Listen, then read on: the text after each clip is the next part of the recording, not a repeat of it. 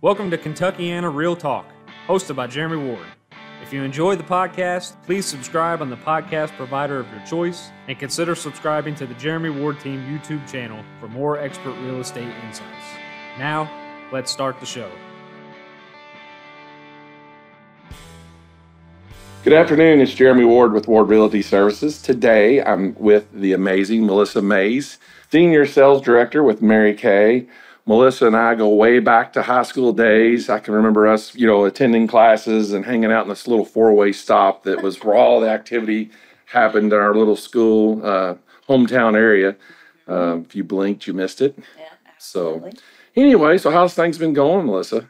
Great, great. Kind of starting to feel like we're getting back to a little bit of normal in many different ways after building a new home and COVID. and COVID, yeah. I'm I'm referring to everything as BC. You know what I mean? Before COVID. Yeah. so yeah. Anyway. So Yeah, I, mean, same here. Like we, I think everybody really adjusted their whole life, right? Absolutely. Yeah. And of course, you were kind of building a home during that time. oh yeah. So fun. yeah, you know, supplies are hard to get, prices are going up, and Oh, hey, let's build a home. Yeah, why not? But it worked out. It turned out really nice. Tell me a little bit more about it, and I'll give you a little back history.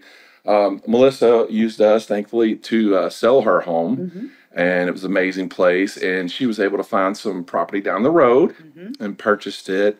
And her and Don, her husband, um, had this dream of a barn house, a barn Mhm. dominium. So I'll let you take it from there. Okay. Well, um, so the property that we bought actually borders the former property. Yep. So when we moved, we did it redneck style. We piled everything up on the back of my husband's flatbed trailer and we drove it over.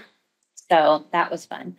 Um, but yeah, we had we had ridden our side by side on that property. We'd hiked on that property for years. We kind of treated it like it was our own hmm and we had tried to buy it from the former owners of that subdivision Right. and so um, they wanted just way too much. And so they were wanting to sell it as lot prices not as land prices. Right. so anyway um, so that it just never happened never happened. And we continued our search. Um, honestly when we bought the house that we bought we weren't necessarily w- looking for that house but it was a foreclosure.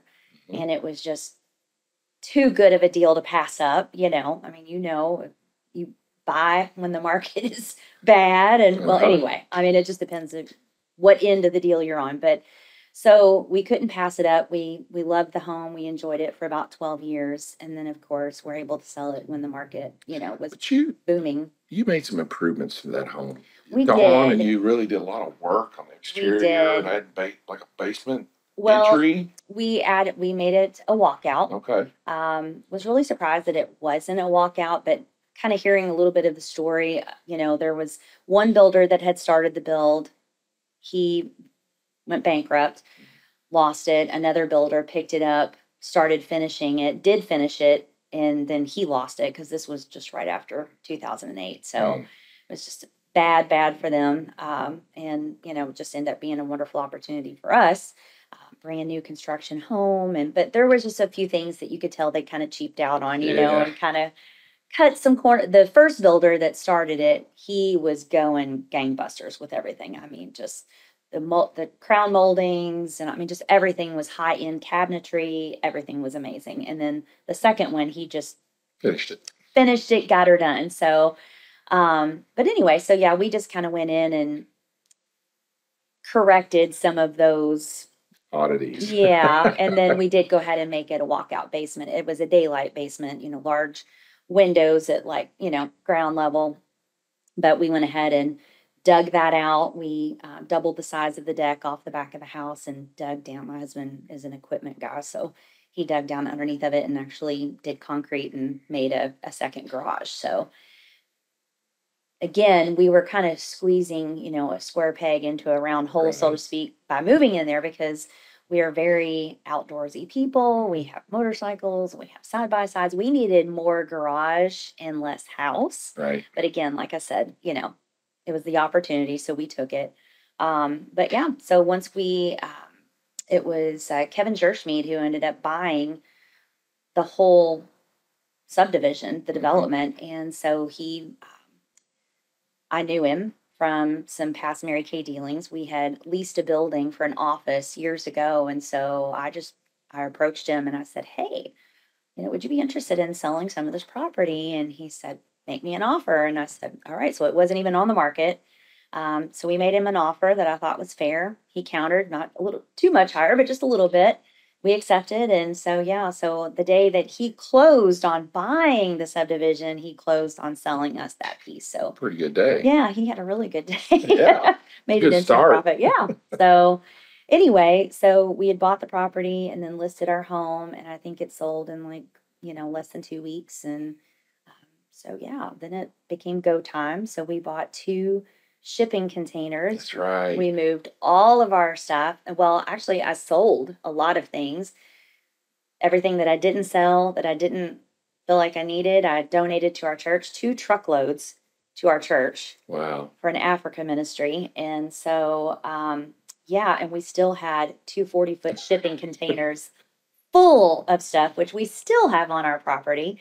One of them is pretty much cleared out, but the other one is still full. So I'm like, okay, this house is already, we're, yeah, we're gonna have, we're gonna have to have like an estate sale or something. So We're on. to be continued. We'll let you know when the sale is going to be. So, anyway, um, but yeah, so we built the barn home because, like I said, we wanted less house. We really wanted to simplify. One of my favorite quotes is when you simplify, you simply fly. Hey, I like And it. so I like just peace and simple. And I mean, we don't even have pictures hanging in our in our house. It's just very peaceful. And Nice. so the view is the artwork. So anyway, we didn't even realize we were going to have that view there at the barn until we started clearing the property, and then it just kind of opened up, and it was like, wow, what a what a blessing. So You're most- facing, aren't you?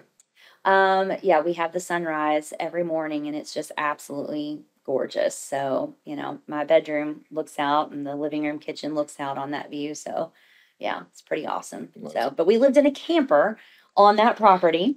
You painted the camper. We did. It- it's we it's did. up to date and, and really nice. Did you sell it? We bought that camper for I think around thirty thousand, and um, I kind of added my touches to it, and we sold it for fifty. So Nice. Well, we it was flipped the camper. it, it was nice. Like I- Yeah. I, knew that that was your plan, and I, in the back of my mind, I had stayed in a camper for thirty days. I'm going, oh man, that ain't gonna be comfortable. of course, you had a nice camper, hmm and then I was like, Melissa's gotten bored with the decor in the camper because I seen on Facebook you've like got this thing really pretty. It's white, Oh, it's yeah. clean, it's simple, it's very up to date. I was like, why is that? I mean, all almost all campers. I mean, they're kind of getting a clue now. Now they're Mhm. kind of going like light grays and whites and things, but all campers were all dark brown, and I'm like, this is so depressing. I can't live in this for. At first, we thought it was going to be six months, turned into a year and a half. So wow. yeah. Anyway, but it was a great adventure. It, it just showed me how little we really need. You know that's true. As Americans, we've got all this stuff. Oh yeah. and you know we're paying to store our stuff and really if we Mm-hmm. just throw give it away sell it throw it away like it Mhm. probably in the long run be a lot easier Oh yeah. but you know i've got a barn and it's too small you know Oh, and i'm thinking i'm going to build another barn for this i'm like the more i've got the more i got to maintenance the more i've got to take care of i really don't need this Mhm. probably be better if there's a better way to help others Mhm. and so that's kind of what i wanted to lean, lean into with you melissa is i've watched you grow your business Mhm. and you know from ground up you've given you've helped others you've mentored young girls like even my daughters like you Mhm. stepped in even without me like oh melissa please help me it's like offering hey if there's anything i can do to help those young girls Oh yeah. dealing with you know teenage issues Oh yeah. let me help Yeah. and, and you did you stepped up Well, and they're um, awesome girls. She did a good job. well, I, I, we did our best, you know, and they're kids, and we love them, and they're they're great. I've got two new. I've got a grandson, ask and I just got the granddaughter home yesterday. Oh So we're all excited, and, and God's been good to us, just blessed us with with more. You know, at first I was like, "Oh no," but at the end of it, I see it's a blessing. Oh, like yeah. it's it's a good thing. Oh yeah. um, so with that, uh, I know you're very go oriented. hmm Tell us a little bit how you, I mean, I know how you built it because I've seen you work. I've been on the other side of your follow up and your service. Like it's amazing. But if you kind of tell the viewers how you started out, like I want people to know, like, if anybody, like, if I can do something like this, Mm-hmm. anybody can. Like, I, I didn't get A's in high school. I barely graduated, and, and somehow I made it. and so, like, it ain't like we came from like big families. It was just, you know, had these businesses and they handed them over. How did you do it? Hmm, interesting. Well, I didn't intentionally go into sales. Um, how I got introduced to Mary Kay was a friend of mine from church asked me to have a Mary Kay party for her. At the time, I was very busy. I was going to school full time, 17 hours a week, working a full time job as a restaurant manager.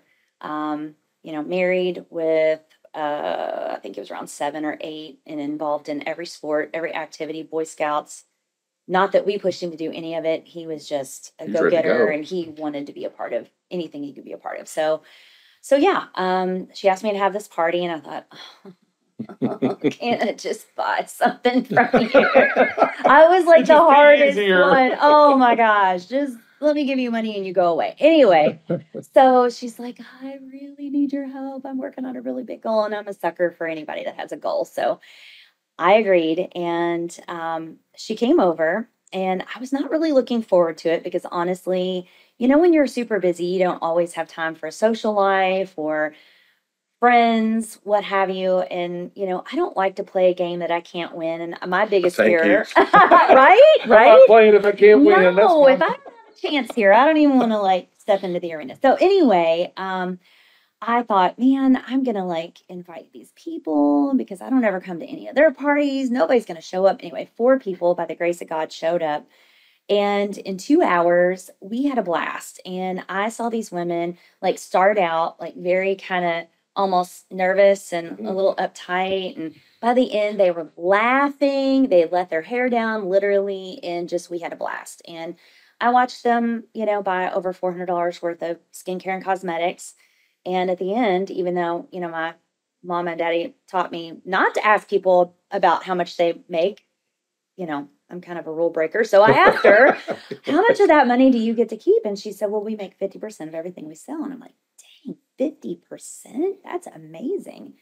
So I can do that math. I was never good at math, but I could do 50 half. easy, yeah. Yeah. So she made $200 in two hours. That was $100 an hour. And I was making like $9 an hour at the time. So I thought, that's, that's pretty awesome. I still didn't really think it was for me, but she invited me to come to a company event and she offered me a free gift and I can be bought. So I went for the free gift and literally had no intention, even told her. She picked me up, very smart, because, you know, if you want somebody to do something, go pick them up. Don't give them an opportunity to back out. So she came and picked me up all the way there. I said, now, if you're trying to recruit me, this is not going to happen. I, I'm far too busy. There's just no way I could fit one more thing into my life. And so she's like, okay. and she's driving her pink Cadillac, you know, with me in it. So um, by the end of the event, I wanted what these women had. And you know, you've been to events, you know, events change you. Yeah. Because what it does is it broadens your vision. I mean, you Mhm. might have had, you know, an eight by 10 vision and thought it was a pretty big vision. But when you go and you hear, you know, experiences and journeys of people that have done amazing things, that have overcome obstacles and breaking belief barriers, it changes you. Well, and one, I had a mentor tell me, he said, if you find an area that you're uncomfortable in or you're resisting, Mhm. that's your area for growth. Yes. And you were kind of doing that, right? Yeah. Like the whole way there, like feet planted. I'm not Oh, going to yeah. be, a, yeah. Absolutely. So I know just from personal experience too that when someone says no, uh, then just a lot of time it just means either they need more information or next opportunity. Right. So anyway, um, yeah, by the end they kind of did like a old fashioned Southern Baptist altar call, and I grew up Baptist, and you know they gave the invitation, and I came Here down, comes. and I'm like, oh my god, what am I doing? My husband's gonna kill me. Anyway, so I went home. He did not kill me, thankfully. Um, so I, I told him what I'd done, and he was like, "Oh, I think you'd probably be really good at it." And I'm like, "What? You're not bad." So he was very supportive, and um, so I told her up front, I was like, "No, don't expect big things from me because right now my main priority is." You know, school. I, I, my big plan was I knew I wanted to own my own business. My big plan was I was going to try to start a restaurant. Thank, Thank- God he Thank had a God. thank God that that Mary Kay intervened and yeah, God had a way better plan than mine. So anyway, um, because I'm sure we would have lost our shirt. I mean, you have to be able to lose big money to be able That's to a- start a restaurant. That's a tough deal. That's it is a total. twenty four seven. Oh man, and I, my heart went out to everybody that owned restaurants during COVID Oh, too. I'm it's like, oh my gosh, man. I mean, you you think I had a whole different lens for those people. Um, so two months in, I mean, look, she's like, fine, no, no, just have fun. You know, more fun you have, the more money you make. What she always said. She was very bubbly and very fun. And um, I was like, okay, well, I can do that. So, but she said one thing, just one request I have of you is, you know, come to your meetings. You know, come to your meetings, get plugged in. You know, no one expects anything from you. Just show up. Those who show up go up. And so I always had that, you know, in my head. And so I went and I, it was like, you know, by osmosis, you know, it just, you know, many people get into Mary Kay, but it's when Mary Kay gets into you Yeah. or whatever, whatever chosen field you're in Mhm. that you, that you will more than likely take it to the next level. You know, a lot of people will step in and it's too hot and they jump back Right. out really quick because, you know, it's, it, It's uncomfortable. it gets uncomfortable. That's right. So I think it helped growing up on a farm that, you Mhm. know, you had to embrace discomfort, you know, pretty much every day.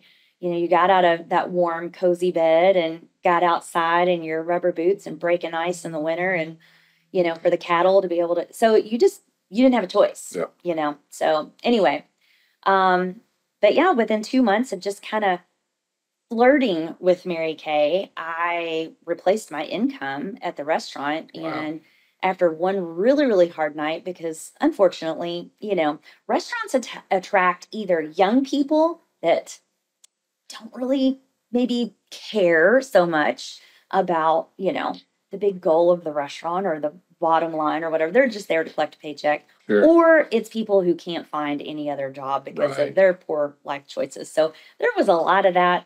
And it was just as a restaurant manager, I mean, just managing people who don't really care. Yeah. Um, it was it was rough. And just one particular night I came home in tears yet again, and my husband was like, just quit. Just quit. Do Mary Kay until you go through school or finish school and then decide what you want to do. I said, okay. So with his blessing, I quit my job and we really couldn't afford it. I mean, he was a police officer for Right. Harrison County, hmm you know, remember. not making very much money. And I definitely was not making very much money. And we had a load of debt. You know, we were over $50,000 in debt.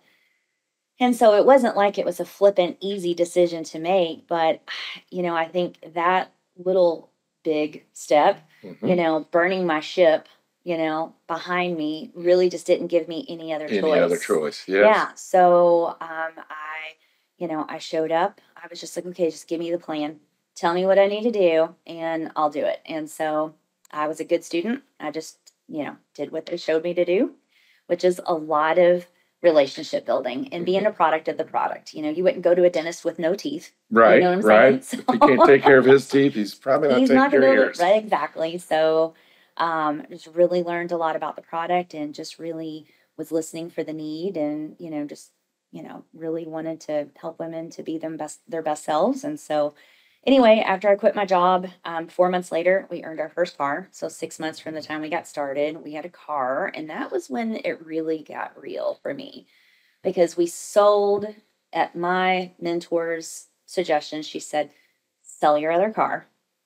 You know, because you do have to maintain your production levels to keep driving that free car. They're not. It's not going to just ooh, sit back Right. and do nothing, and they let you drive a free car. So I did. I sold my other car. Another burn my ship moment. hmm And um, so, and for those of you that don't know the story, do you know the story behind the burn the ship? Mm-mm. So there was a general that took his um, his men into battle, and they landed upon the shore. They went in. They started to lose. You know, taking a lot of casualties, and so they started retreating back. Retreat, retreat was the call, and they all got back on the ship and they sailed away. So the next week or so, he regrouped, refreshed the troops, came back in again. You know, went into battle. As soon as he stepped foot off the boat and the men went into battle, he burned the ship.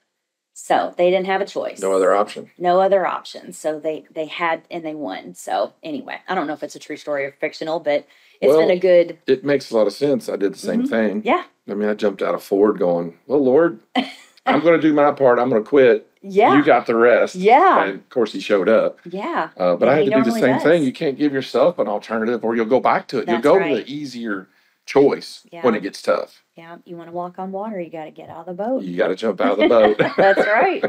That's right. So really, the rest is history, and um, we've I've had oh my gosh, I've I've probably missed more goals than I've hit, but you know nobody talks about the miss. right, right. You know, they talk about the wins, and it's just it's made me a better person. It's just really grown me. You know, um, learning so much about you know human behavior and personal growth and Maslow's hierarchy of needs. You know, climbing up that hierarchy to self actualization. It's it's a fun um, and sometimes painful journey, but it's so worth it. Well, you know, in the past, as you know, you've you've talked to my ladies i- Mhm. in our real estate team just Yeah. about wasn't about makeup. It was it was life and and like Mhm.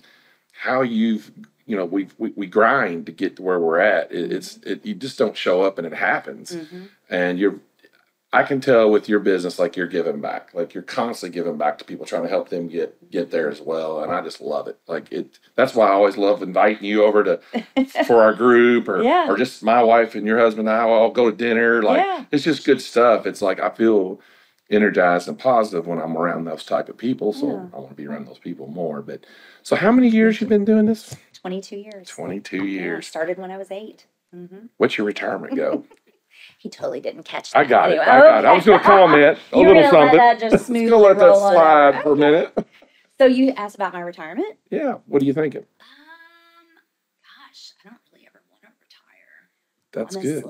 you know. If you love doing something enough where you don't want to retire, you're pretty passionate about what Oh, you're doing. Yeah, yeah. I mean, I can't say that was always the case, you know, but Mary Kay does have a, a great retirement program Mm-hmm. um, for national sales directors. Um, so um, that retirement will happen when I turn 65. Um, so, but you know, I Gosh, you got her 30 years. right? right? Yeah. So, um, but I see myself still being, you know, very involved either as a business coach. Um, I mean, because I'll, you know, I have an organization that I've built probably of around 2,000 people. Mhm. Um, and so, you know, I, I'm not going to just step away and Yeah, you know, wash just, my hands right. of those people. I'm, I'm still going to be, you know, involved in their lives in some way, shape, or form. So, but probably, you know, do some type of coaching. But we Mm-hmm. also, on our property, we bought 45 acres. We didn't intend on buying that many. Uh, we were looking for like five to 10. Five to 10 was always what we had said. But, you know, you, you bring your goal to God and He just supersizes it Mhm. sometimes. So, which we love it. We're so glad that we have the 45 acres. I mean, we, you know, we we hike on it, we play on it, and it was so funny. The the property had been logged and we were back there like, you know, stalking the property all the time. It was right behind our house anyway, but we were watching it when they were logging the property and we went back and talked to these loggers and we told them we were so excited, you know, we're gonna be buying this property and and this one guy he was like, I wouldn't have this property if you gave it to me. It was just all it's all hills It's hills, yeah. and it's woods and there's some part of it that you know is kind of untouchable just you know goes straight down a, a big ravine but for our lifestyle we love that. We hike we run those trails we ride those trails you know so Don gets his We- dozer out and makes more trails. oh my gosh. Yes yes. Yeah he's got his dozer and he just purchased a skid steer. So his next goal venture um, is he works for ups now um, does very well um, and it's really not a bad job. It's you know he's a he drives a, a big truck for ups um, he works like three days and then is home four days which awesome. is not a bad gig and you know making six figures doing that which is crazy and great great benefits but he is gone you Mhm. know and he would just love to he's actually started to do forestry mulching and um and oh my gosh he's a i told him i said you know what you're a forestry artist Mhm. because he he's already done several jobs hasn't even advertised yet he's like kind of pulling the reins back because he's you know I, he'd probably be way he'd have to quit Too busy, yeah. yeah and he and that is his goal that is his goal but you know we have certain financial goals Sure. to have in place Sure. before he you know makes Those that leap if it were me, I would just leap. I'm a I am a fire, ready, aim kind of girl. He is a ready, aim, aim, aim. Recheck my sights. Yeah, exactly, exactly. Yeah, you get the gun reference. So He, he's not burning. He's not going to burn the ship real quick. He's going to roll into this. yeah, we make a good we make a good complementary mm-hmm. pair because I'll nudge him out of his comfort zone and then he kind of levels me Brings out. So yeah, yeah.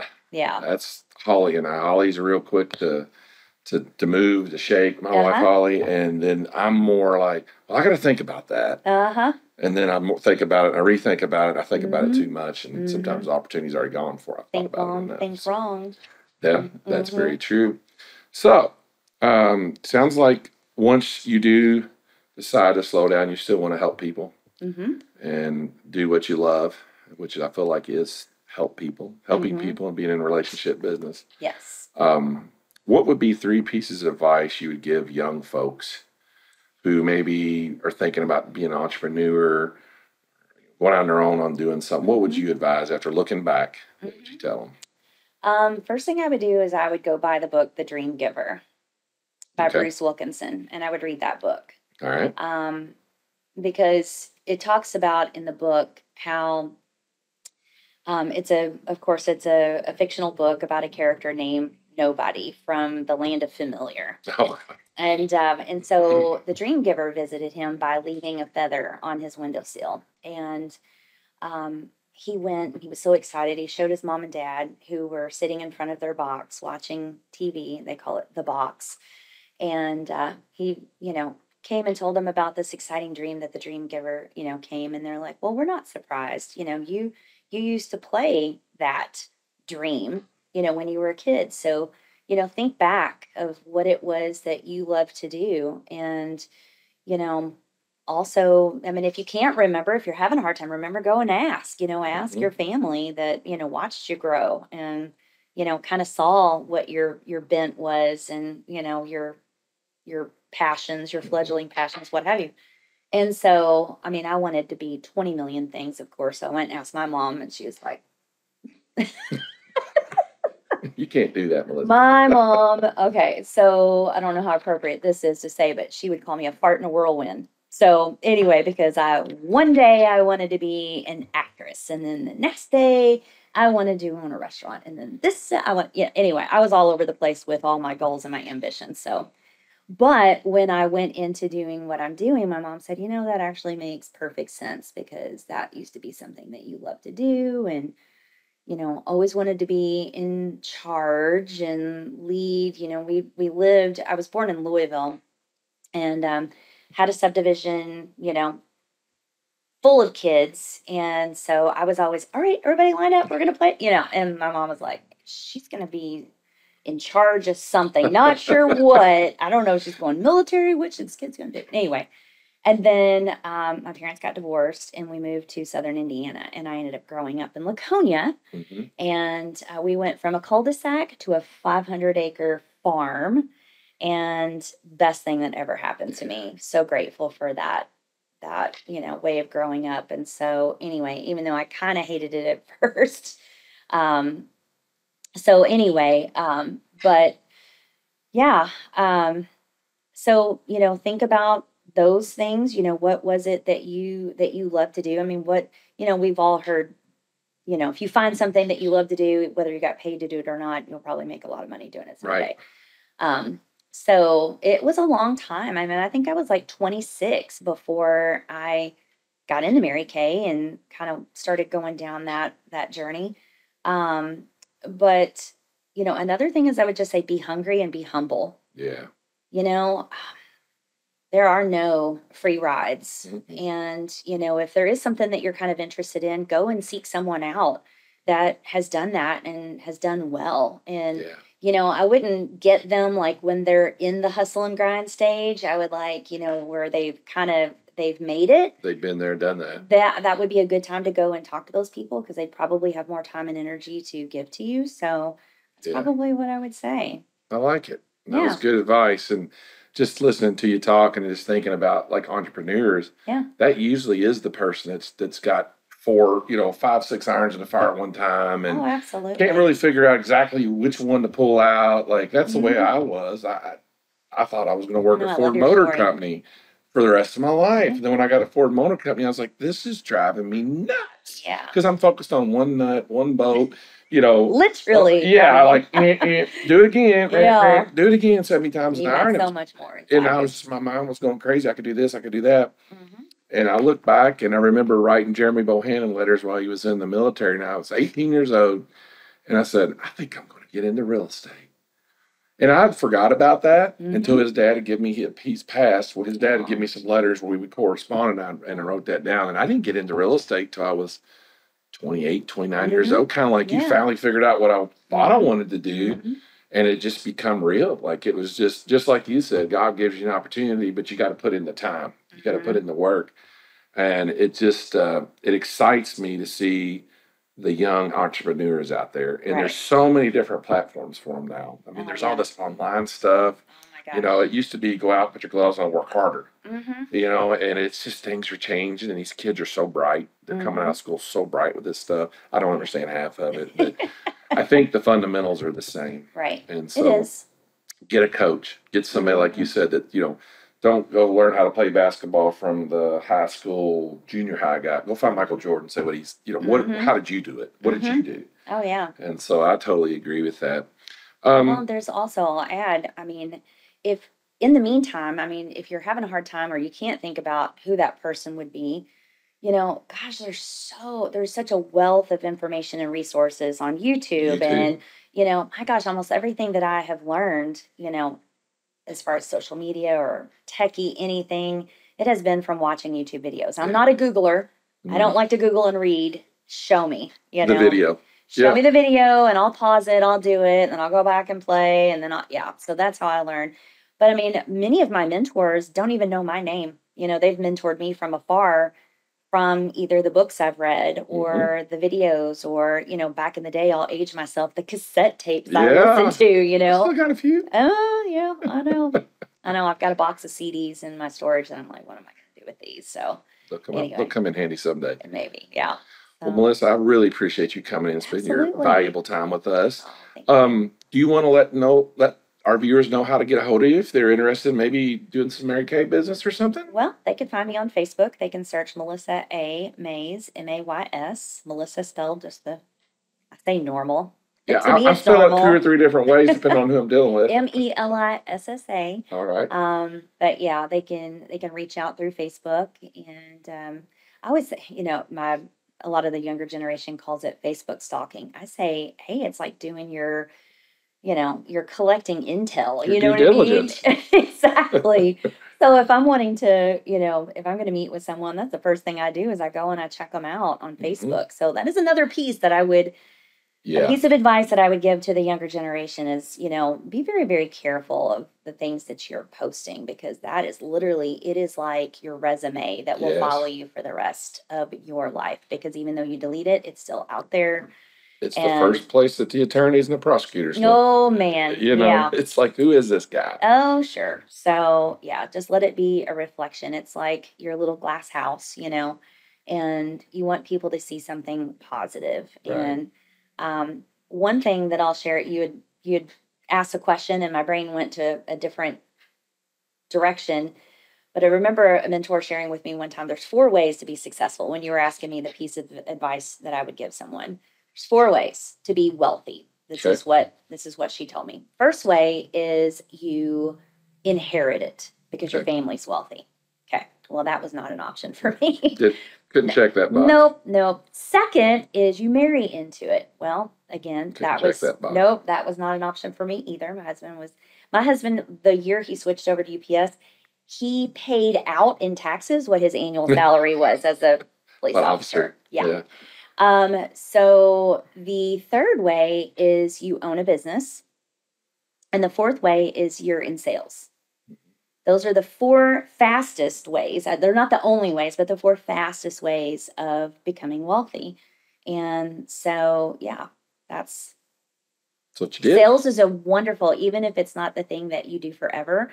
I think every person, I have said this, I, I and I believe it to be true, not because it's just benefiting me in some way, but I think every young woman should come into Mary Kay for at least a year because of the experience that she would gain. Ah. And she could literally go anywhere, Anywhere. with that experience it is like a PhD in human behavior and psychology and business and life skills. You Mhm. know, I should have mentioned that one first because honestly, that is the most important thing that I have taken away from that, you know, because and how you run your life is how you run your business. Yeah. If you're Hot Mess Express in your personal life, This must be gonna carry over that way too. So anyway, but yeah, it has been just amazing because what I found myself um, was I was surrounded by a bunch of Proverbs 31 women, Mhm. and even more so than my church. I mean, my church, it's like that, you know, maybe a couple day mentoring, but this was just like You're living it. I'm living this. I, it's total immersification and just, you know, and they're in my head every day with, you know, the training and,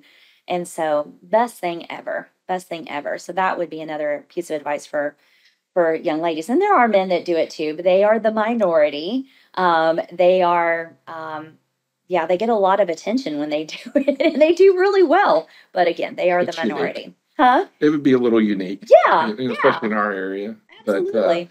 no, I knew, you know, the you know I've known you for a long time, Uh-huh. and always been an awesome person. But when you did the first um, kind of like coaching session with my group over COVID, we did it yeah, on Zoom. yeah. Uh-huh. I was blown away Oh, thank you. by your wealth of knowledge, and that you can definitely tell you've been plugged into some good stuff. Like it was just coming out of you natural, and Mm-hmm. Yeah. you were just you know quoting it. You wasn't reading off anything. So I would agree. Like young ladies, Oh yeah. if you want to be self confident, you know, have good self confidence, yes. learn some some very good life skills. I Yes. would. I would get involved in Mary Oh, Kay because proof's sitting right in front of me. Oh yeah. So well, and the same thing could be said for real estate. I did. I got with a coach Mhm. and started, you know, reading books they told me to read and started, you know, what you you get what you focus on. Uh-huh. So focus on good stuff, That's it. and uh, it and I think we were at a good. good age when we started because honestly, life, you know, you've You kind of done to- life a little bit. Yeah, You know, sometimes you know the younger people they.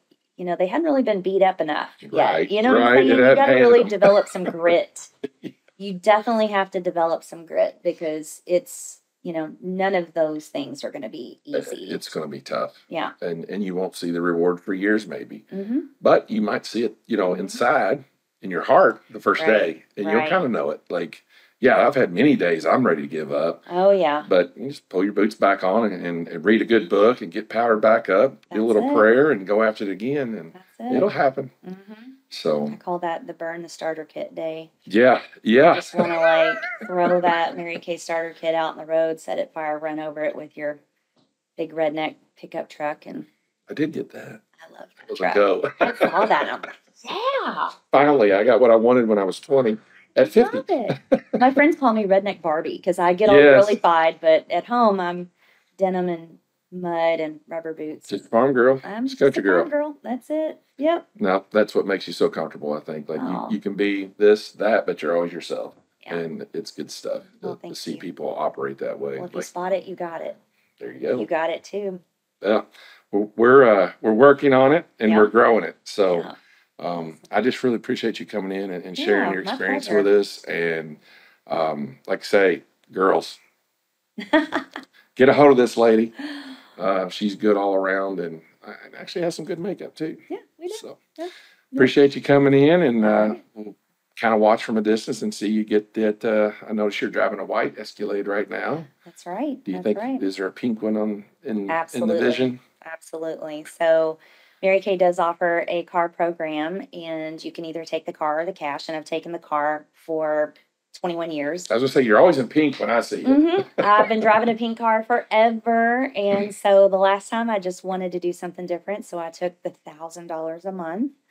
And but I lost the insurance option, so I am paying my own insurance. I thought, what is this about? This is weird. is this? This is so strange. I gotta pay this. oh my gosh, I've got a car payment now. But so I get that reimbursement, you know. So anyway, Mary Kay's basically buying that car. So my plan is that will that vehicle I will gift to my husband when I earn the pink Escalade, which is what national sales directors get, and that is my next step. I can't wait to see it because I know it's going to happen. Uh, yes, sir. It It'll sure happen. will.